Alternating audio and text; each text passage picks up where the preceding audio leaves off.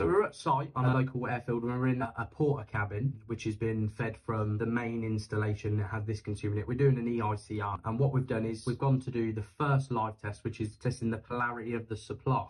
And then what we've realized is actually the polarity is incorrect for the whole cabin. So if I probe onto uh, earth there, if I go onto the line conductor coming in, you can see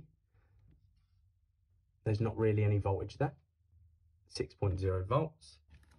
But if I go between earth and neutral you can see we actually have 230 volts. And then if I go between line and neutral you can see we still have our single phase voltage.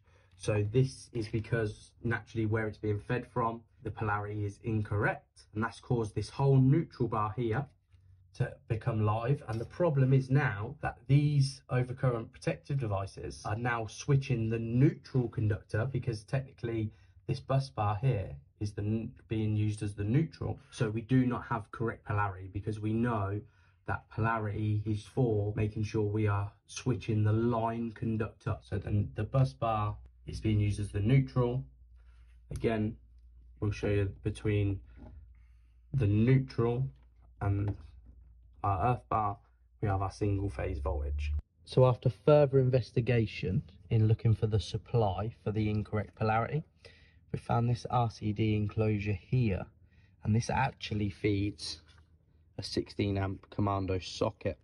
And what we've done is we've checked the conductors there, which have not been identified by sleeving. We've got number two, labelled as number two, being used for the neutral, and number one for the line from this enclosure.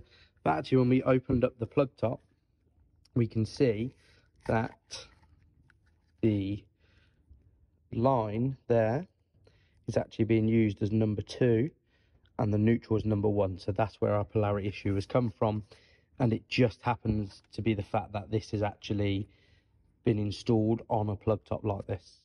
So now we've re-terminated the plug top we found inside of that sort of hangar. We're at an airfield type of place. What we're going to do now is we're going to actually recheck our first live test of polarity of supply. And again, we've said that actually it does become one of the tests where people tend to skip past it. This is the reason why we do it. So we're going to go onto our, our earth bar and our line.